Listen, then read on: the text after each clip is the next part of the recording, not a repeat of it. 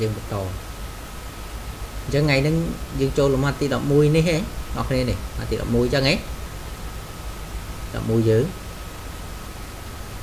ឥឡូវយើងមើលវិធានទាំងអស់គ្នាជាមួយលោកគ្រូសិនលំហាត់ទី11នេះបាទមើលសិនណាចឹងលំហាត់ទី11យើងគេថាម៉េចគេថាក្នុងថង់មួយមានបួរ10ដែលក្នុងនោះបួរ5មានពណ៌លឿង ហើយគេសរសេរលេខពី1ដល់15អញ្ចឹងបួរពណ៌លឿងនឹងមានចំនួន5ដែលគេសរសេរលេខឬក៏ចុះលេខវាពី1ដល់15ហើយបួរ3បាទបួរ3មានពណ៌ក្រហមគេសរសេរលេខពីលេខ1ដល់លេខ3នឹងបួរ3ដែលពណ៌ក្រហមណានិងបួរ2ពណ៌សគេសរសេរលេខពីលេខ1ដល់លេខ2 អញ្ចឹងគេថាម៉េចគេថាគេចាប់យកបួរម្ដងទៅទៅគេចាប់យកបួរមួយចេញពីក្នុងថង់ដោយចេញដន់ចឹងកាលណាគេចាប់យកបួរមួយចេញពីថង់ចេញពីក្នុងថង់ដោយចេញដន់មានន័យថាឲ្យតែយើងឮពាក្យថាចេញដន់ទាំងអស់គ្នាចាំថាវាចូលបន្សំហើយណាចូលបន្សំហើយកន្លែងហ្នឹងអញ្ចឹងគេឲ្យយើងរកប្រូបាននៃព្រឹត្តិការណ៍ខាងក្រោមចឹងមួយ បួរដែលចាប់បានមានពណ៌លឿងបាទមានពណ៌លឿង2បួរដែលចាប់បានមានលេខ2បាទមានលេខ2ណា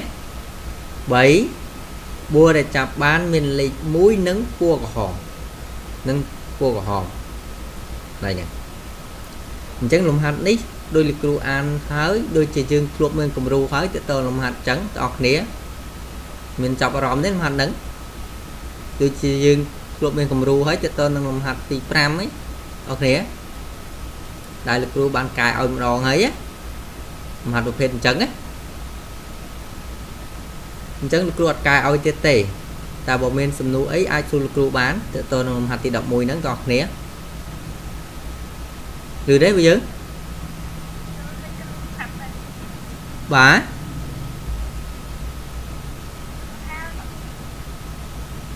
អីគេវិញគ្នាយើងបើអត់មានសំណួរទេលោកគ្រូសូមចូលទៅកាន់លំហាត់ទី12លំហាត់នេះទុកធ្វើកិច្ចការទេសម្រាប់បងប្អូនអាហ្នឹងហ៎ឮទេបងប្អូនគ្នាបាទចាឮហ្នឹងហើយអញ្ចឹងលំហាត់នេះទុកធ្វើកិច្ចការផ្ទះគ្រូដាក់ពណ៌ក្រហមណាកិច្ចការផ្ទះ ឥឡូវលោកគ្រូបញ្យល់កន្លែងលេខ3នេះបន្តិចទៅមានគ្នាយើងដែលសួរគ្រូដែរលេខ3នេះគេចង់បញ្ជាក់ថាចេះណាបួរដែលចាប់បានលេខ1និងពណ៌ក្រហមអញ្ចឹងគេត្រូវយកលេខ1តើពណ៌ក្រហមទេបើគេចាប់បានលេខ1វាមានច្រើនលេខ1អញ្ចឹងឯងកន្លែងហ្នឹងវាអាចមួយពណ៌អីគេពណ៌លឿងក៏បានពណ៌សក៏បានតែពេលនេះ គេចង់បានបួរដែលចាប់បានហ្នឹងលេខ1និងពណ៌ក្រហមអញ្ចឹងគេត្រូវយកលេខ1អាពណ៌ក្រហមមិនយកបួរលេខ1ពណ៌លឿងហើយក៏មិនយកបួរលេខ1ពណ៌ពណ៌សទេកន្លែងហ្នឹងណាតើតើនឹងចំណុចលេខ3ហ្នឹងណាចឹងកន្លែងហ្នឹងយើងសរសេរបានថាបន្សំនៃ1យក1ព្រោះពណ៌អីគេ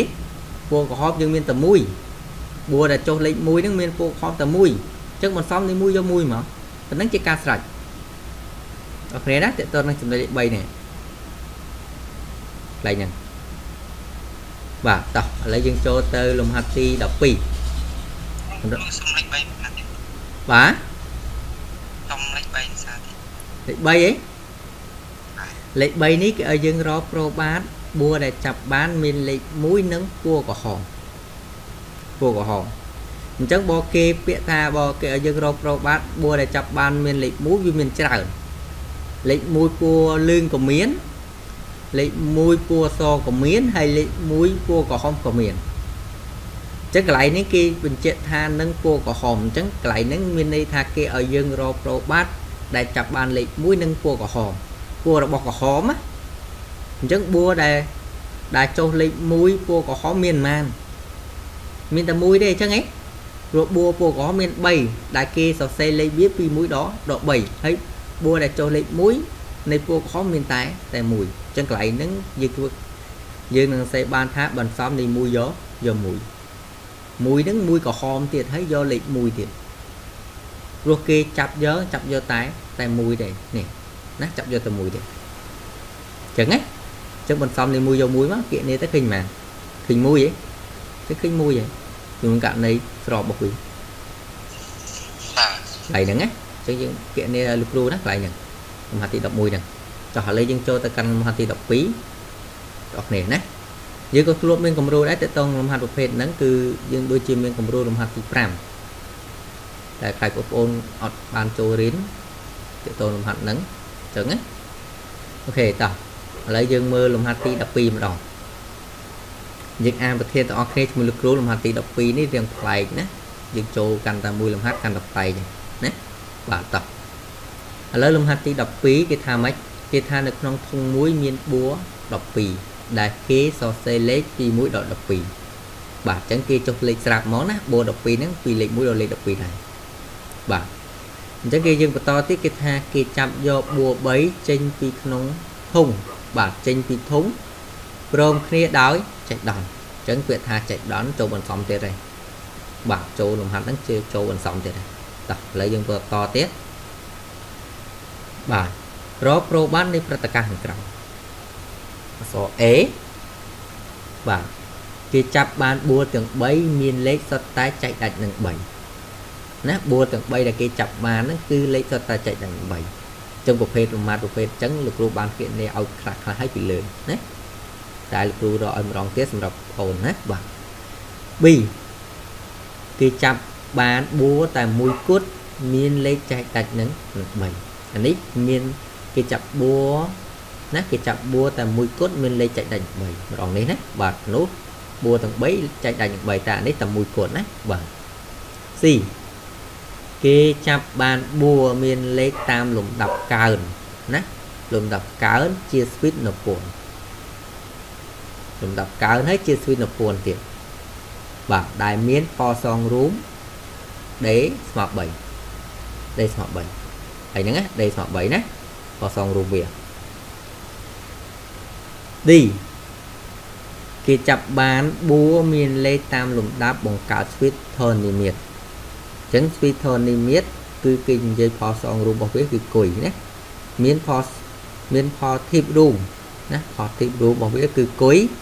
គុយស្មើ1លើ2ផល tip របស់វាណាបាទ អញ្ចឹង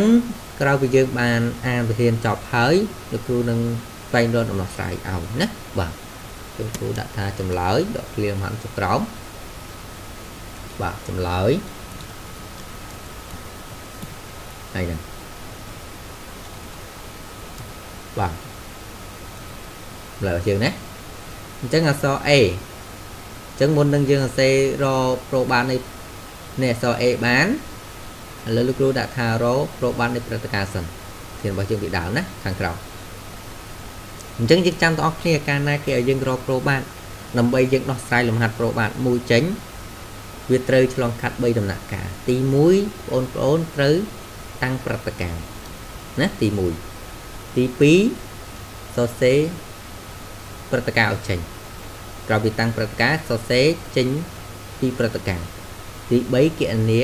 ប្រូបានណា ទី3គណនាអញ្ចឹងឥឡូវគេឲ្យយើងរកប្រូបាននៃព្រឹត្តិការណ៍ខាងក្រោម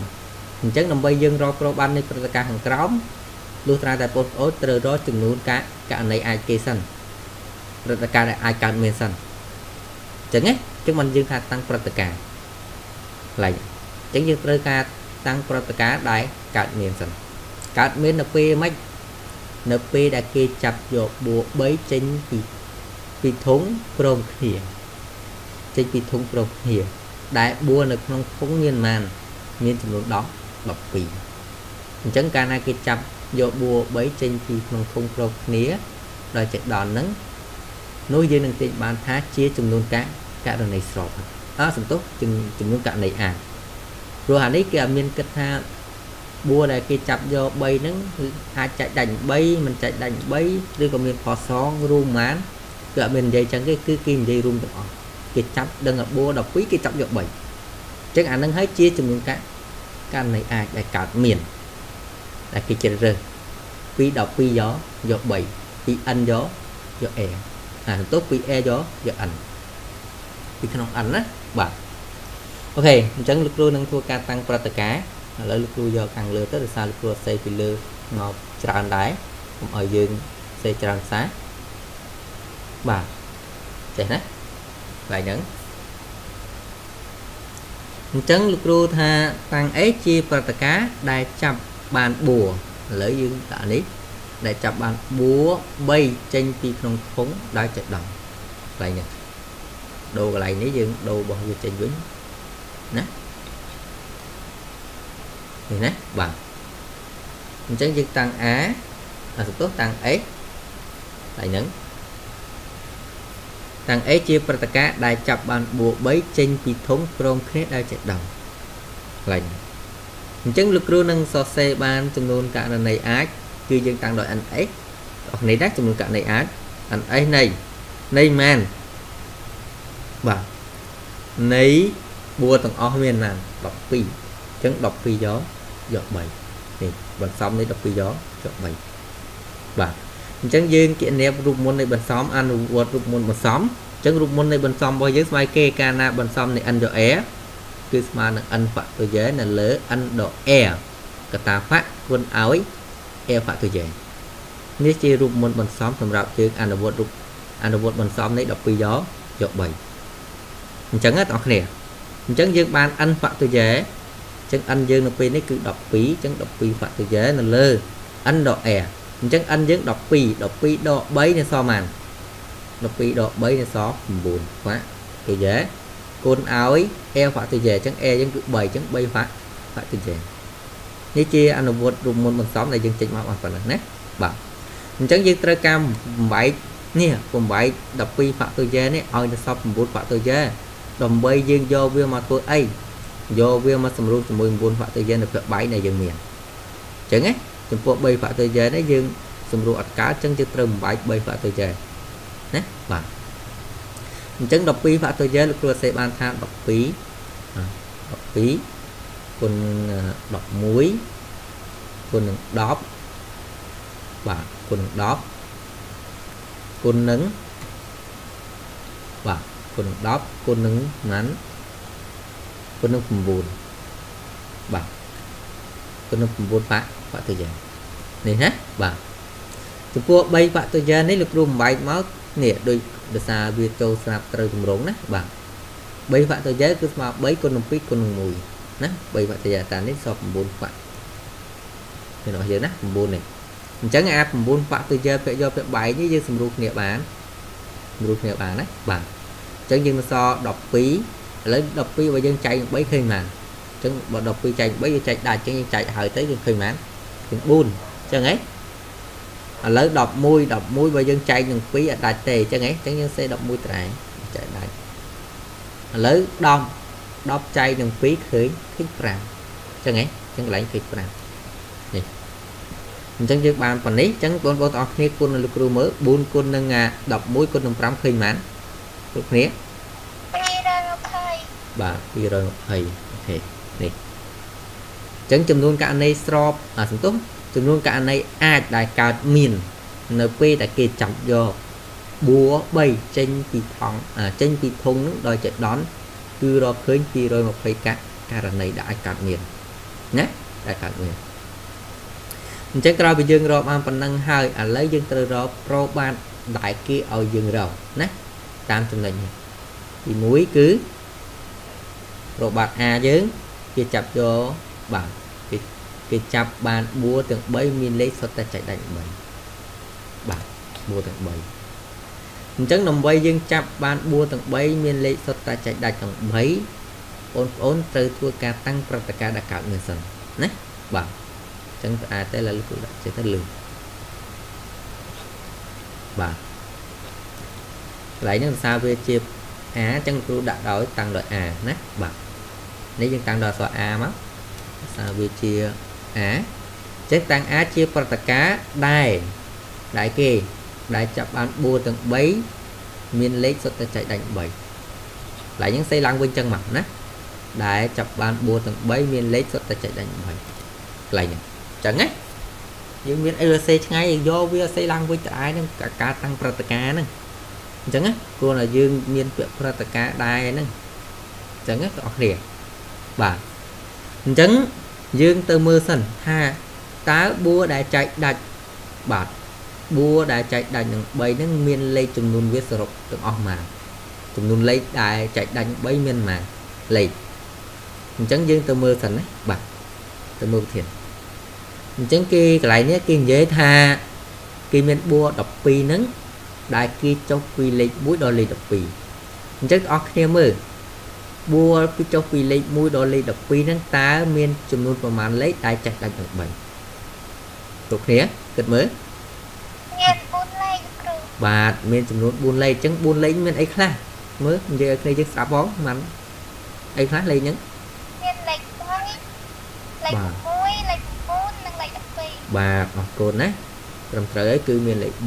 3លេខ3វាមិនចែកដាច់3អញ្ចឹងហ៎លេខ6ចែកដាច់3 លេខ9ចែកដាច់3ហើយលេខ12ក៏ចែកដាច់នឹងនឹង3ដែរអញ្ចឹងចំនួនលេខទាំងនោះមាន4លេខអញ្ចឹងកន្លែងហ្នឹងកាលណាគេចាប់ព្រោះគេគេយកបួរទាំង3ហ្នឹងសុទ្ធតែលេខចែកដាច់3អញ្ចឹងគេចាប់យកទាំង3អញ្ចឹងកន្លែងហ្នឹងគឺយើងប្រើបន្សំនៃម៉ានបាទគឺ NA របស់យើងនោះឲ្យ NA របស់យើងគឺបន្សំនៃព្រោះចំនួនលេខដែលចែកដាច់នឹង3មាន4អញ្ចឹងហ៎អញ្ចឹងបន្សំនៃ4យកយក3ការស្រេចព្រោះគេយកលេខដែលចែកដាច់ទាំង3ទាំងអស់តែហ្នឹងណាបាទអញ្ចឹងបន្សំនៃបន្សំនៃ4យក3ហ្នឹងគឺស្មើប៉ុន្មានបងប្អូនស្មើប៉ុន្មានបើយើងអនុវត្តរូបមន្តបន្សំក៏បានឬក៏ជើងគាត់ឃើញទាញយកដាក់ហ្មងស្មើ4បាទស្មើ4ទៅណាបើយើងអនុវត្តរូបមន្តបន្សំក៏ឃើញ4បើតែបើយើង ចាំក៏បានដែរកាលណាបន្សំនៃ4យក3 2យក1បាទគឺស្មើនឹង4ឬក៏ស្មើនឹង3ណាបាទតែនេះដោយសារបន្សំរបស់យើងគឺ4យកយក3អញ្ចឹងគឺស្មើនឹង4កន្លែងអញ្ចឹងណាកាលណាវាយកអាចំនួនដែល n យើងវាមានដក4ឧទាហរណ៍ថា n យើងមាន n តានេះគេយកវា n ដក1អញ្ចឹងអ្វីដែលវាបានគឺ n អញ្ចឹងណា បាទបាទអញ្ចឹងឃើញ4កាករណីជំករណីស្របអញ្ចឹងយើងរូបមន្តនៃប្រូបានរបស់យើងអញ្ចឹងលឿនលឿនលឿនណាបាទយើងប្រាប់រូបមន្តនៃរកប្រូបាទហើយយើងចំនួនលេខចូលជាការស្រេចឡើយអញ្ចឹងណាបងប្អូនបាទអញ្ចឹងយើងតាមរូបមន្តប្រូបាទនៃ A បាទប្រូបាទនៃ A ស្មើនឹង NA នៅលើ N NX រូបមន្តមកជើណាអញ្ចឹងយើងចំនួនចូលមកបងប្អូនឡើយហ្នឹងចំនួនចូលបាទចំនួនចូលអញ្ចឹងយើងបានប៉ុន្មានបាន4នៅលើបាទ220អញ្ចឹងហ៎អញ្ចឹងលេខនេះយើងអាចសម្រួលបានសម្រួលនឹង4ទៅចឹងបើលោកគ្រូសម្រួលនឹង4លោកគ្រូបាន1ទៅយកយើងសម្រួលនឹង4អានេះបាន5 5 5ចឹងហ៎ហើយយើងចែកទៀតក៏បានដែរឥឡូវលោកគ្រូមិនចែកទេទុកប៉ុណ្ណឹងបងប្អូនត្រូវចែកទៅណាលេខទូចឹងចែកទៅ តែបើលេខធំធំបើចែកទេបើភ្នាក់បាយផ្ទួងម៉ឺនអីខ្ញុំមិនចែកទេបើភ្នាក់យកមានតែមួយចឹងណាទុកប៉ុណ្ណឹងទេតែបើលេខប៉ុណ្ណឹងអាចចែកបានលេខចឹងណាចឹងយើងរកឃើញអាយ៉ាទូភ្លេចដូរនេះរកបាទអាអញ្ចឹងយើងរកឃើញណាប្រូបាទដែលកើតមាននៅក្នុងអក្សរ A ហ្នឹងគឺរកឃើញចំនួនប្រូបាទរបស់វាគឺ1លើ5 55ណាបើយើងចែកទៅឃើញ0តិចជាងណាបាទ អូខេអញ្ចឹងយើងបានចប់ហើយតើតនឹងចំណុចអក្សរ A ដែលគេឲ្យយើងគណនាប្រូបាទណាតោះឥឡូវយើងចូលដល់អក្សរ B ម្ដងបាទអក្សរ B អញ្ចឹងអក្សរ B នេះបាទអក្សរ B នេះគេថាគេចាប់បានបួរតែមួយគត់មានលេខចែកដាច់3អញ្ចឹងគេចាប់យកបួរតែមួយគត់នឹងចែកលេខចែកដាច់3មានន័យថាកន្លែងហ្នឹង គេយកបួរដែលមានលេខចែកដាច់3តែមួយអញ្ចឹងកន្លែងហ្នឹងកាលណាគេយកបួរដែលមានលេខចែកដាច់3តែមួយវាសល់បួរ2ទៀតអញ្ចឹងឯងដែលគេចាប់យកអញ្ចឹងវាអត់ទាន់គ្រប់ទេអញ្ចឹងគេត្រូវយកបួរផ្សេងដែលអត់ដែលលេខនោះមិនចែកដាច់3ចំនួន2ពីបួរទៀតទើបចំនួនគេចាប់យក3ហ្នឹងគ្រប់បើគេយកបួរតាមមួយគត់ចែកចែកដៃនឹង3អញ្ចឹងវាខ្វះ បួគេ2ទៀតណាអញ្ចឹងគេអាគេយកអាលេខដែលមិនចែកដាច់នឹងនឹង3ចំនួន2បួទៀតអញ្ចឹងមុននឹងយើងអសេបានទៅនងយើងធ្វើការតាំងព្រឹត្តិការណ៍សិនណាដូចគ្នាតាំងព្រឹត្តិការណ៍កើតនៅសិនបាទកន្លែងហ្នឹងអញ្ចឹងលោកគ្រូកន្លែងហ្នឹងលោកគ្រូតាំងនៅ B បាទតាំង B ជាព្រឹត្តិការណ៍ដែលចាប់បាន បួតែមួយគត់ចែកដាច់នឹង3ផ្សេងឡើងវិញដែលចាប់បានបួតែមួយគត់ចែកដាច់នឹង3អញ្ចឹងបួដែលចែកដាច់នឹង3តែមួយគត់កន្លែងហ្នឹងមានន័យថាយើងអាចបានថាបន្សំនៃ4យក1គុណឲ្យបន្សំនៃអាបួដែលមិនចែកដាច់3មានប៉ុន្មានកាលណាបួដែលចែក3មាន4អញ្ចឹងបបបួមិនចែកដាច់3វាមានចំនួន8ទៀតអញ្ចឹងឯង8យកយក2កន្លែងហ្នឹងណា អញ្ចឹងកន្លែងហ្នឹងទី1វាសេបានថាបន្សំនៃ4យក1អញ្ចឹងបន្សំនៃ4យក1នេះមានន័យថាបួតែមួយគត់ដែលអាចចែកដាច់នឹងមានបួមួយដែលចែកដាច់នឹងនឹង3អា4យក1គេយកតែមួយទេគេតែមួយគត់ហើយអញ្ចឹងវានៅខ្វះចំនួនបួគេ2ទៀតដែលគេចាប់យកព្រោះគេចាប់យកម្ដងហ្មង3តើយើងយកតែមួយទើគ្រប់របស់គេទេអញ្ចឹងយើងត្រូវយកអាបួផ្សេងដែរមិនចែកដាច់នឹង4គឺគុណឲ្យបន្សំនៃអញ្ចឹងអាបួមិនចែកដាច់នឹង4មានចំនួនប៉ុន្មានបើយើងមាន4ហើយអញ្ចឹងបួដែលមិនចែកដាច់នឹង4មានចំនួន8យើងយក12ដក4ចេញឃើញ8ឯអាបួ8ហ្នឹងដែលមិនចែកដាច់នឹងនឹង4អញ្ចឹងគេយកវាចំនួន2ដើម្បីវាគ្រប់ចំនួនដែលគេចាប់ម្ដង3ណាគេចាប់យកម្ដង3ដល់ចេះដល់កន្លែងហ្នឹងណាដើម្បីបង្គ្រប់របស់គេកន្លែងហ្នឹងបាទ អញ្ចឹងយើងធ្វើការគណនាប្រូបាទនឹងមកអាសន្ទុះគណនាចំនួនកនៃស្របមកនេះអានេះ3ណាដូរដាក់3អញ្ចឹងបន្សំនៃ4យក1គឺស្មើម៉ាត់អស់គ្នាបន្សំនៃ4យក1គឺស្មើ4ត្រែណា4ត្រែបាទមួយទៀតបន្សំនៃ8យក2ស្មើម៉ាបើយើងមិនប្រកបទេទាំងអស់គ្នាអនុវត្តរូបមុនបន្សំទៅគឺប៉ុណ្្នឹងណាតែលោកគ្រូចំណាំទុកឲ្យតែឃើញ4យក1 4យក3អាហ្នឹងគឺវា ចំនួនប៉ុណ្្នឹងអញ្ចឹងណាបាទគុណឲ្យបន្សំនៃ8យក2នេះយើងអត់ដឹងទេដឹងប៉ុន្មានទេអញ្ចឹងយើងអនុវត្តរូបមុនបន្សំអញ្ចឹងអនុវត្តរូបមុនបន្សំរបស់យើងគឺ8ផាក់តូយ៉ែនៅលើ8ដក2សល់6ផាក់តូយ៉ែគុណឲ្យ2 2ផាក់តូយ៉ែកន្លែងហ្នឹងណាបាទអញ្ចឹងយើងធ្វើការគណនាបន្តយកបានបាទគណនាបន្ត ចឹង8វ៉ាក់តូយ៉ែនេះយើងបំបែកឲ្យសល់6វ៉ាក់តូយ៉ែដើម្បីសម្រួលជាមួយភាពបាយអញ្ចឹងណាចឹង8វ៉ាក់តូយ៉ែលោកគ្រូអាចបានថា8គុណនឹង7គុណនឹង6វ៉ាក់តូយ៉ែបាទចំណែក2វ៉ាក់តូយ៉ែនេះគឺស្មើនឹង2ដដែលទេគឺស្មើ2គុណនឹង1នៅ2ទៀតណាបាទអញ្ចឹងលោកគ្រូបានបន្តទៀតស្មើទៅមុខទៀតណាអញ្ចឹងអា6វ៉ាក់តូយ៉ែសម្រួលដាច់មួយ6វ៉ាក់អញ្ចឹងហ៎ ចឹងអានេះយើងនៅសល់8 8យើងចែកនឹង2ទៅយើងបាន4 4គុណនឹងគុណនឹង7ណា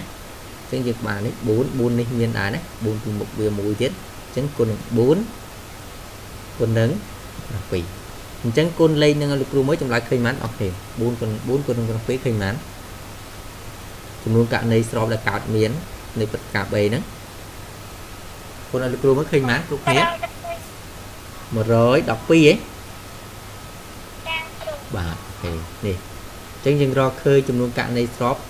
ដែលបួបួដែលគេបាទគេចាប់បានបួតែមួយគត់មានលេខចែកដាច់3នេះគឺឃើញ112កាក់ករណីកាត់មានណាបាទអញ្ចឹងយើងតាមរូបមន្តប្រូបានដូរគ្រាន់តែដូរអាដាក់ B មក B អានេះ B បាទអានេះអេត្រូវណាបាទអញ្ចឹងយើងចំនួនចូល បាទជំនួសចូលបេចានេះ112ណា112បាទអញ្ចឹងយើងសម្រួលនឹង4ដែរទៅលេខហ្នឹងចែកដៃនឹង4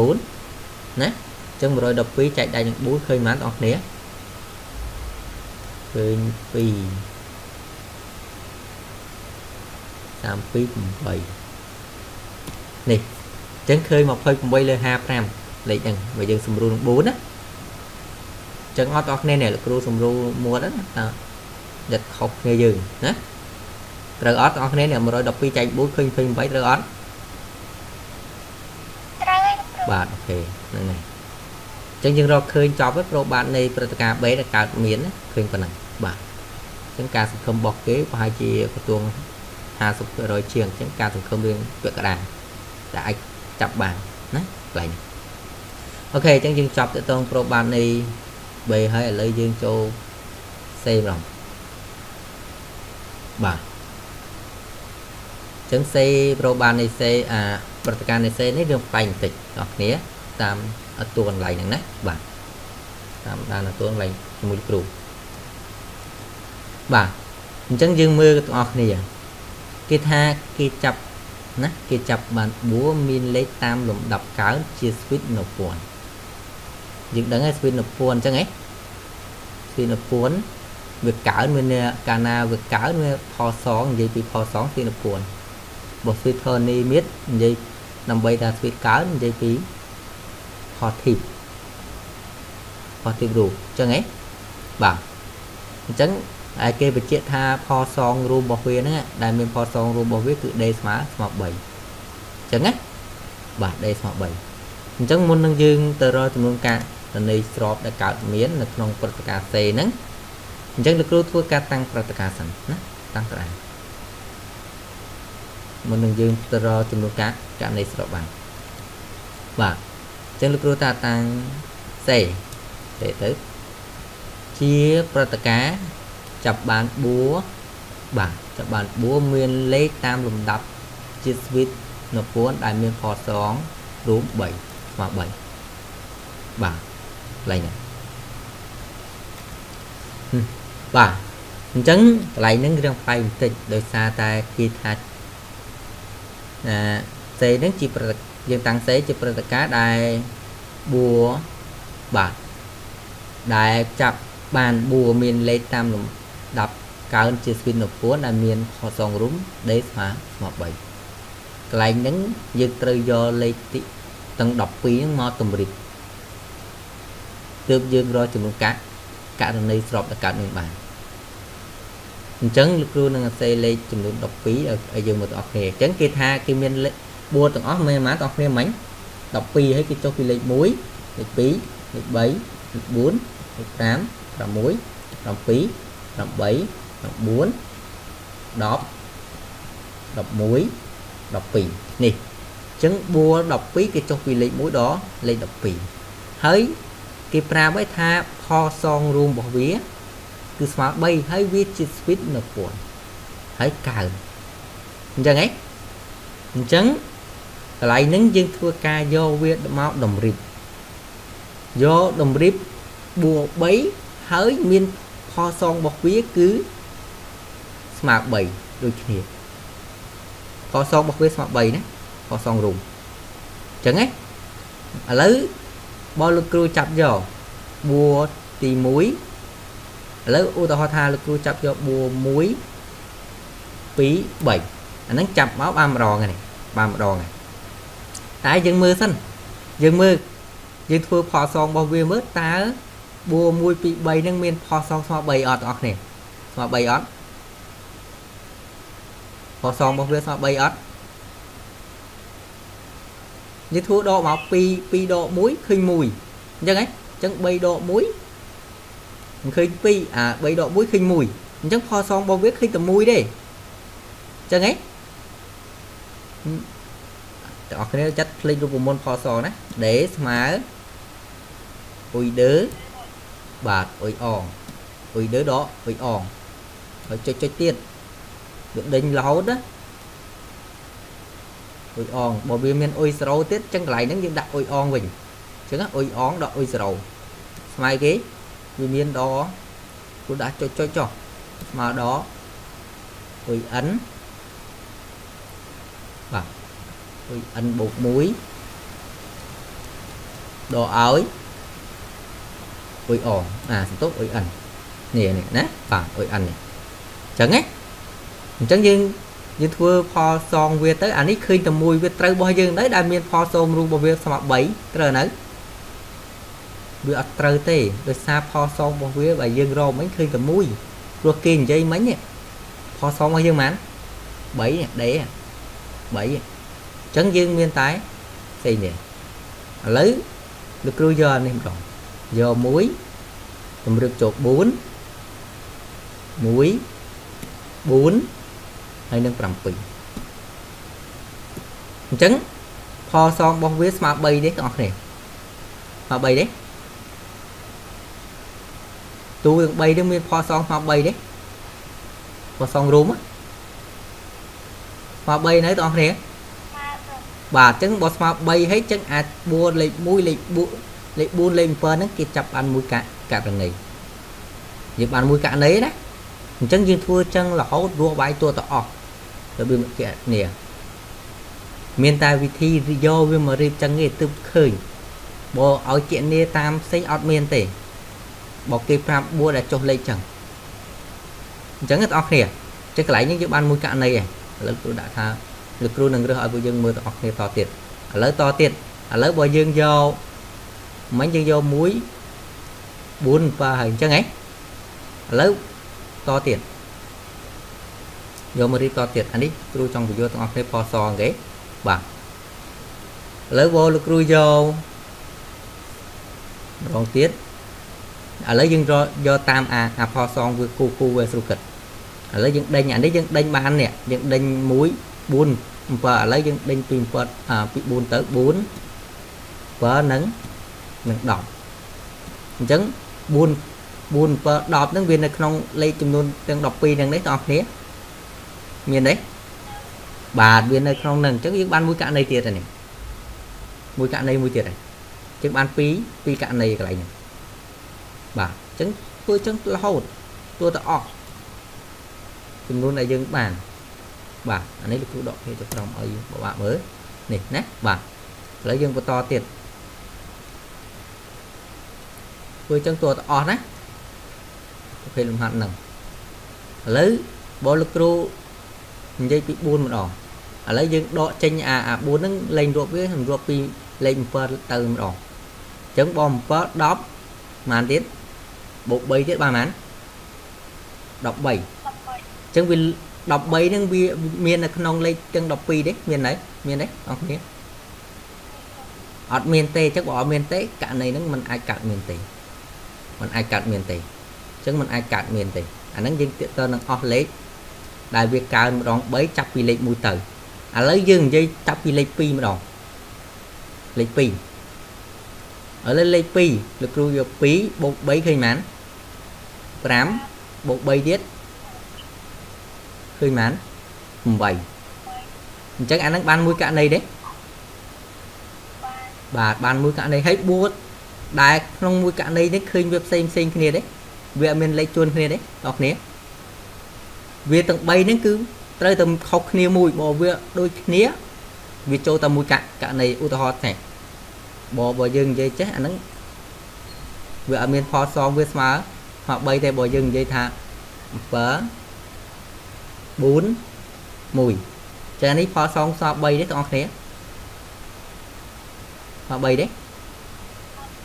បាទគឺវាទៅជាដក3វិញវាអត់ត្រូវតាមគោលការណ៍របស់ បាទវាអត់ត្រូវតាមគោលការណ៍របស់យើងទេព្រោះគេចង់បានទេគេផលសងរបស់ផលសងរបស់វាគឺគឺ3អញ្ចឹងណាអញ្ចឹងអានឹងអត់ចូលទេតែបើយើងនិយាយបើបើនិយាយអឺមួយទៀតបើវាអាចកើតបានមួយករណីបើឧទាហរណ៍ថាវាមានផលសងដក3ទៀតអញ្ចឹងតែអានឹងគេសួរផ្សេងទៀតដែរអានេះអត់ពិតទេអញ្ចឹងយើងមិននិយាយទេបាទអញ្ចឹងណាតែនេះយើងអាចបងបានមួយករណីទៀតដែរអញ្ចឹងហ៎ ឥឡូវយើងតទៀតឥឡូវយើងដេញពី2នឹងឲ្យអស់សិនយើងធ្វើការដេញអញ្ចឹងណាបាទឥឡូវយើងលុប2ចេញយើងបាន5អញ្ចឹង5 8ហើយប៉ុន្មានទៀតអស់គ្នាបូក3ទៀតឃើញប៉ុន្មានបាទ11អញ្ចឹងវានៅក្នុងលេខយើងទេនៅក្នុងលេខទាំង12ទេប៉ុណ្ណឹងបាទនៅអញ្ចឹងវាបានមួយករណីទៀតហើយតែកើតមានយើងយករៀបចឹងណាឥឡូវបើយើងយកលេខ8យក11បូកនឹង 3ទៀតឃើញបាន14អញ្ចឹង14នឹងមាននៅក្នុងលេខ12ទេអត់មានទេអញ្ចឹងយើងមិនបាច់ទៅនិយាយតទៀតទេអញ្ចឹងយើងនិយាយពីលេខ3ម្ដងឃើញទេរៀប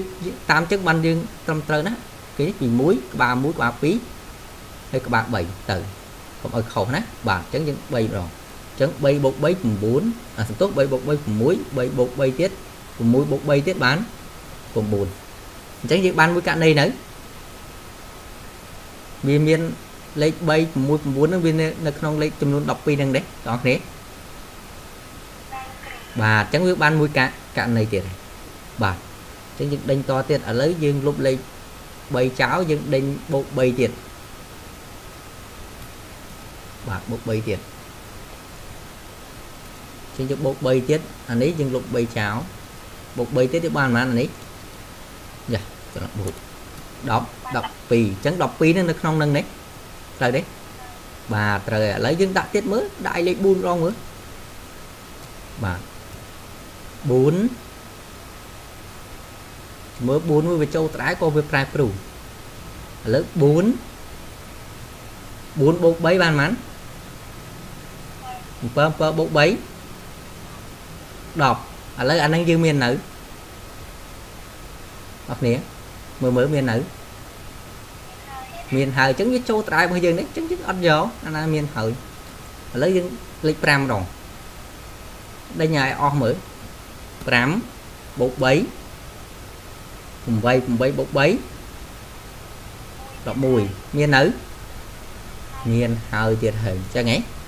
ឥឡូវ6ម្ដងដាក់ឯងទួតអស់ហើយអ្នកទាំងអស់គ្នាមើលឲ្យយល់ទាំងអស់គ្នាអញ្ចឹង6បូក3ហ្មង9បូក3 12មាននៅ1 បាទមានហើយទៀតហើយឥឡូវចូលលេខ7ម្ដង7បូក3 10 10បូក3 13អញ្ចឹងអានឹងយើងមានអានឹងយើងយកបានអត់អត់បានទេដោយសារលេខយើងមានតែ12ទេដល់លេខ13ត្រូវអត់អត់ត្រូវទេអញ្ចឹងយើងដឹងប៉ុណ្ណឹងយើងដឹងថាវាលើសដល់ហ្នឹងហើយអញ្ចឹងយើងលេខគិតហើយយើងយកតែប៉ុណ្្នឹងមកគ្រប់របស់យើងនេះអញ្ចឹងចំនួនករណីដែល តើវាកើតមានមានប៉ុន្មានលេខទាំងអស់គ្នាអូមានចំនួនប៉ុន្មានរួបចូលមកបាទរួបមកនេះរបស់យើងនេះយើងរកបាននេះចំនួនស្របឲ្យកើតមានណាឥឡូវលោកគ្រូដាក់ខាងនេះដើម្បីយើងគ្រូមើលគ្រូនឹងចោលសិនណានឹងលោកគ្រូដាក់ថា NS ណាអញ្ចឹងគេយករៀបវាអញ្ចឹងបងប្អូនយកទេតកតងការរៀបហ្នឹងព្រោះយើងមិនអាចប្រើបន្សំឬប្រើអីបានគណនាពីបានទេអាហ្នឹងបើគេតកតងប្រភេទអញ្ចឹងណាបាទខ្ញុំទៅលក់ចោលឲ្យគ្រូដាក់ចេះដើម្បីយើងសួរមើលនេះណា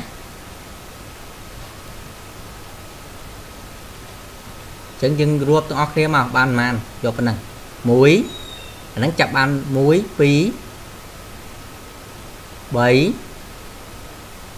4 5 6អញ្ចឹងហ៎អញ្ចឹងរកឃើញ6កាក់ករណី6ករណីកន្លែងហ្នឹងណាបងប្អូន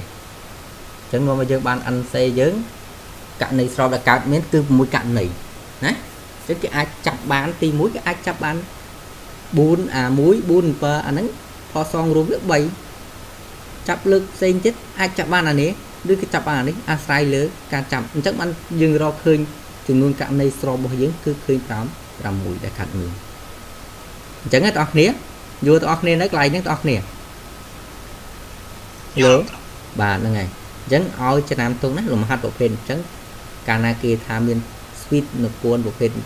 ខ2ឬក៏3ឬក៏5 គឺយើងត្រូវយកវាមកមកតម្រិប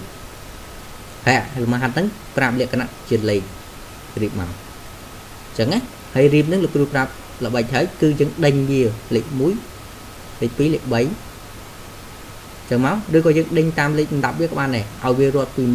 1ហើយរត់ពី2រត់ពី3ពី4ពី5ពី6រហូតទោះតែយើងរត់ទៅលើសលេខរបស់យើងកាលណាលើសលេខរបស់យើងយើងអត់គិតទេចឹងណា កាលហ្នឹង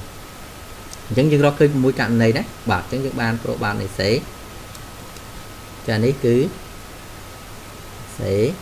នៅលើ x ណាបាទរូបមន្តរបស់យើងអញ្ចឹងយើងបាន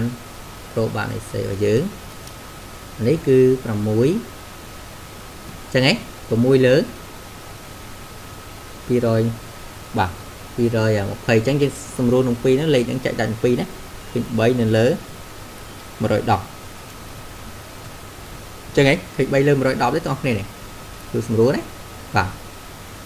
ចឹងយើងរកឃើញប្រូបាតណែដែលគេចាប់បានបួមានលេខតាមលំដាប់កើនជាស្វីនពួនហ្នឹងគឺឃើញ3នៅលើ110បើការសង្ឃឹមរបស់វាគឺតិចណាបាទខ្ញុំកាត់តិចកើតភាសាករណីស្រោវាតិចដែរហ្នឹងអញ្ចឹងបានគេឲ្យយើងរកទៅចឹងណាបាទតែបើរៀងច្រើនហ្នឹងវាបាក់រយណាបងប្អូន តែវាជាទៅគេមិនឲ្យច្រើនទេត្រឹមតែ10ចុះក្រោមអស់ហើយបើច្រើនហ្នឹងនួមតាពេលប្រឡងឧបមាថាប្រឡងនួមធ្វើវាហើយស្មើណានួមរៀបចឹងហើយបើអ្នកខ្លះពួតអត់ដឹងហ្មងមិនដឹងធ្វើតាមណាតែបើយើងមានកលឹះធ្វើបានរៀនហើយយើងដឹងអញ្ចឹងណាអញ្ចឹងធ្វើតែលំហាត់មួយហ្នឹងក៏ធ្វើណា1ម៉ោង2ម៉ោងកន្លះក៏ធ្វើមិនហើយទេបើអត់ដឹងហើយណាបាទ អូខេតោះឥឡូវយើងចូលទៅដល់ធ្វើបានម្ដងដេម្ដងណាដេក៏ចឹងដែរណាបាទដេចឹងដេនេះគេថាគេចាប់បានបួមានលេខតាមលំដាប់កើនអាបងកើនណាលំដាប់បង្កើត suite បន្ទោះ គេចាប់បានបួមានលេខតាមលំដាប់បង្កើត suite នៅពាន់អាសន្ទុះ suite ធនិមិត្តមានផលសង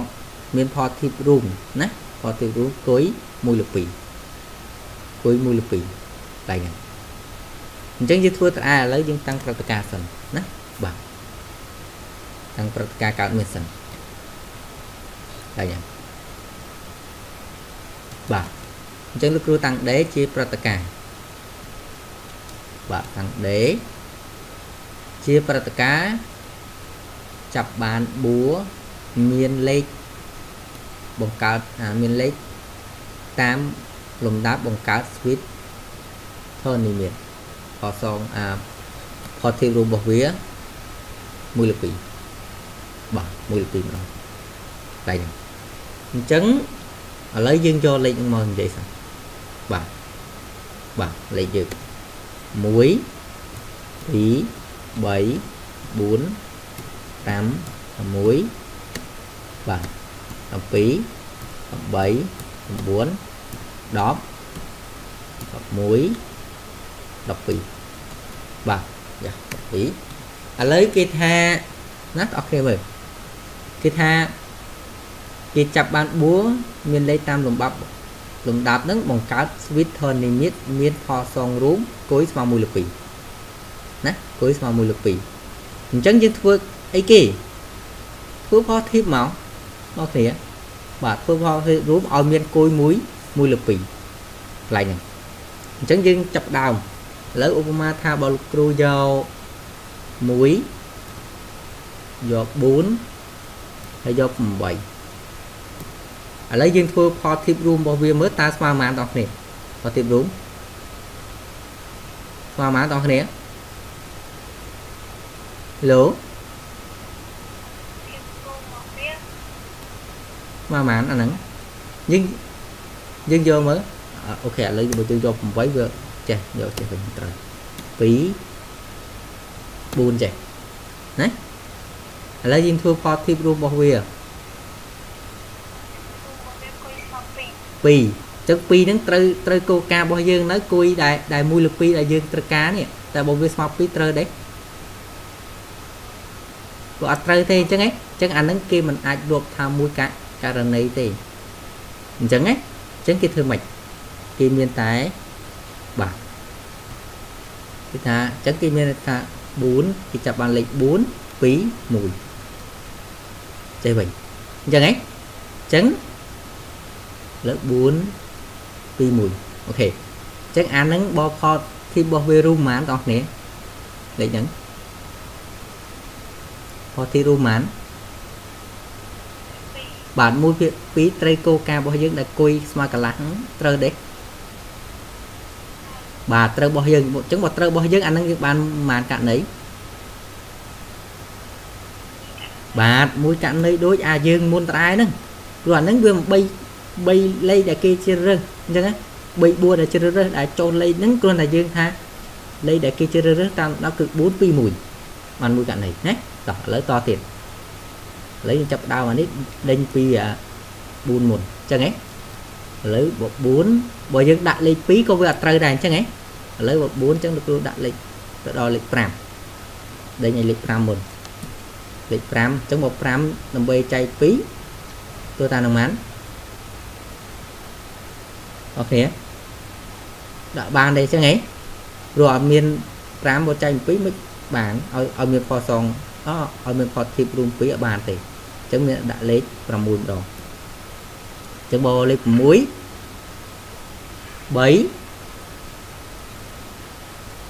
មើលបើអានេះយើងចែកមើល3ចែកទៅឃើញពីតានេះមិនដឹងក្រោយដាក់លេខម៉ានទេអញ្ចឹងអញ្ចឹងយើងដាក់អត់បានដែរអញ្ចឹងផ្សេងដូរទៀត ដូរឲ្យដាក់តួលេខឥឡូវលេខ7ម្ដងបើលេខ7ក៏អត់កើតលេខ8អញ្ចឹងហ៎8 4 2វិញនេះអញ្ចឹងអាហ្នឹងយើងបានបង្កើតបានមួយកាករណីទៀតហើយអញ្ចឹងហ៎បាទឥឡូវតទៀតមានលេខទៀតអត់ឥឡូវយើងលេខ9ម្ដងអញ្ចឹងលេខ9បើនឹង9ចានេះម៉ាន6 3 ចឹងហ្នឹងបង្កើតបានមួយករណីទេបានមួយកករណីទៀតទេចឹងហ៎ឥឡូវយើងតទៀតឥឡូវបើយើងដាក់លេខ10បាទលេខ10នឹង10ព្រោះលេខដែលយើងជ្រើសរើសវានៅក្នុងលេខទាំងអស់ដែរអញ្ចឹងហ៎អញ្ចឹង10អញ្ចឹង10អានេះ5អានេះម៉ានដើម្បីដាក់វា2ដាក់ម៉ានដើម្បីបាន2ក៏អត់ត្រូវដែរអញ្ចឹងហ៎បើយើងដាក់1 គឺ5តើអញ្ចឹងអត់បានទេឥឡូវលេខ11លេខ11 11ក៏អត់កើនហើយលេខ12អញ្ចឹង12ដើម្បីយើងចែកនោះដាក់លេខម៉ានលេខម៉ានលេខ6អូខេអញ្ចឹង6ចានេះម៉ានដោយវាលេខលេខ3អញ្ចឹងហ៎ ឥឡូវយើងដាក់តទៀតមានលេខតទៀតអត់អត់ទេមិនយើងដាក់តាមដល់ឥឡូវយើងសាក់លេខផ្សេងទៀតមានអត់មិនយើងដេញទេមិនយើងដេញពីលេខ5លេខ6លេខ7លេខ8លេខ9លេខ10ហើយលេខ11ហើយដល់លេខ12នេះក្បាលមុខវានេះអញ្ចឹងណាអញ្ចឹងដូចជាយើងដេញអស់ហើយអញ្ចឹងបើអស់ហើយឃើញតែប៉ុណ្ណឹង4រប៊ីងអស់គ្នាបានតែ4 កន្លែងហ្នឹងយើងមើលមានលេខផ្សេងកើតទៀតអត់ក្រៅពីលេខ4ហ្នឹងអត់មានទេអញ្ចឹងហ៎មានតែ4កាករណីបាទនេះបែងរកឃើញ4កាករណីបាទអញ្ចឹងលោកគ្រូដាក់ចូលខាងរបស់យើងអញ្ចឹងបង្កើតបានជា switch thornimate ហ្នឹងដែលមានផលសងរួមរបស់វាយើងរកឃើញតែ4កាករណីទេតែខាងនេះបែបហ្នឹង អញ្ចឹងយើងធ្វើដូចលោកគ្រូពយល់ទាំងអស់គ្នាមិញអញ្ចឹងទី1យើងដេញក្បាលលេខធ្វើម៉េចដេញមុនត្បូងឲ្យមានផលសងរួមរបស់វាគឺ positive room ណា positive room របស់វាគឺ1លើ2មកអញ្ចឹងមិញយើងបានដេញឯក្បាលវាគឺចាប់ពី4ឡើងទៅទើបអាចមានបើពី1ក៏អត់កើត2ក៏កើត3ក៏អត់កើតតែបើ4មាន4ហើយដេញតទៀតបាន8 បាទ8 8 4 2ដេញតទៀតបានលេខ9ដែរព្រោះអាលេខម៉ានលេខ6ហើយលេខ7វាអត់មានអញ្ចឹងវាមានតែលេខ8លេខ9របស់យើងហើយមិញយើងដេញលេខ11ដែរលេខ11គឺគ្មានទេបើយើងធ្វើផលសងរូបអាធ្វើផលទីរួមវាអត់មានទេអត់មានឃើញ1លើ2ទេអញ្ចឹងហ៎អញ្ចឹងមានតែលេខ10 12ទេធ្វើទៅមានអញ្ចឹងណាអញ្ចឹងយើងរកឃើញ4កាក រណីកន្លែងហ្នឹងដែរអញ្ចឹងរកឃើញតិចតិចបានគេឲ្យយើងរកហ្នឹងបើរកច្រើនគេមិនឲ្យយើងរកទេកន្លែងហ្នឹងអញ្ចឹងណាបងប្អូនបាទអញ្ចឹងប្រយ័ត្នបន្តិចតតងការរើបអញ្ចឹងណាបងប្អូនយកតតងការរើបទេបងប្អូនកន្លែងហ្នឹងគ្រប់គ្នា Hello បាទអ្នកផ្សេងទៀតណាមីមានបាទអូខេអញ្ចឹង ប្រចាំបច្ច័យហ្នឹងថ្ងៃក្រោយបើអាចបើអាចចេញលំហាត់ប្រភេទអញ្ចឹងគេឲ្យយើងរៀបអញ្ចឹងរៀបបានទេបងប្អូនអូខេបាទហ្នឹងហើយថ្ងៃក្រោយប្រយ័ត្នប្រយ័ត្នតែយើងរៀនហើយធ្វើអត់បានណាអញ្ចឹងយើងរៀនហើយចំណាំទុកប្រភេទលំហាត់អញ្ចឹងណាបាទអូខេតោះយើងអញ្ចឹងយើងជំនួសចូលអញ្ចឹងយើងតាមរូបមន្តសិនធ្វើបាននេះដេគឺគិតដូននេះដេណាដាក់ដេផង ដេនេះដេដេនេះដេណាបាទតោះចំនួនចូលទៅឃើញចម្លើយចឹងគេបានដីចានេះឃើញមិញ4ណាចឹងសម្រួលទៅឃើញបានមួយនៅលើបាទមួយលើ110នេះមួយលើ110មួយនៅលើ 55ណា55នេះចម្លើយរបស់យើងណាចឹងយើងចប់ហើយតើតើនឹងប្រូបាននៃលំហាត់ទីប៉ុន្មានរបស់យើងហ្នឹងគឺលំហាត់ទី10ប្រហែល10 12របស់យើងណាបាទហាត់ទី12ចម្លើយរបស់យើងប៉ុណ្ណឹងអញ្ចឹងបងប្អូនទាំងអស់គ្នាមានសំណួរអីអត់ក្រោយពីយើងបានស្វែងរកដំណោះស្រាយជាមួយគ្នាលោកគ្រូហើយលោកគ្នាមានសំណួរអត់ពួកយើង គ្រូបើសិនជាមកទៀតទេគ្រូ បាទ ឥឡូវវលាក់មានសំណួរសួរមកគ្រូបើសិនជានៅក្បាលដើមខាងលើគេប្រាប់ថាចាប់ម្ដង4បច្ច័យ10ចឹងណាហើយយើងត្រូវជំនឿវា4 4ទូដែរតែបាទ4 4ដែរនឹងយើងរៀបវា4 4ដែរឲ្យបាន4 4អញ្ចឹងណាតែប៉ុណ្្នឹងណាវលាក់ព្រោះ5ដាក់ឲ្យ5រៀបដង5ដល់ឲ្យតែមានអីគេ D របស់វា3អញ្ចឹងណា អូខេតោះអញ្ចឹងអ្នកផ្សេងទៀតអត់មានទេមានសំណួរទេពីយើងអ្នកផ្សេងទៀតបើអត់មានទេលោកគ្រូសុំ slide ប៉ុណ្នេះណាចាំយើងសប្តាហ៍ក្រោយយើងចូលទៅកាន់លំហាត់ទី13ហើយកុំភ្លេចធ្វើលំហាត់ទី11លោកគ្រូផងគឺទេពីយើងចាគ្រូបាទនឹងអូខេអញ្ចឹងយើងគាត់សម្រាប់ចុះប៉ុណ្្នឹងណាដាក់ទៅជំរាបបាទជំសម្រារាប់បលា លាលោកគ្រូបា